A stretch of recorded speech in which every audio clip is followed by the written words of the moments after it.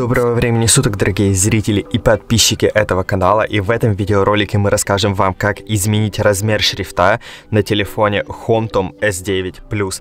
Для того, чтобы это сделать, нам нужно перейти в настройки.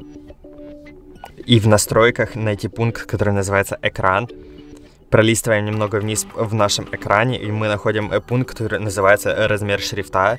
И здесь, если у вас, например, проблемы со зрением, мы можем увеличить наш шрифт до больших размеров, или наоборот, если вам не нравится очень большой шрифт, мы можем его уменьшить, или поставить по умолчанию, или же стандартный шрифт на нашем телефоне.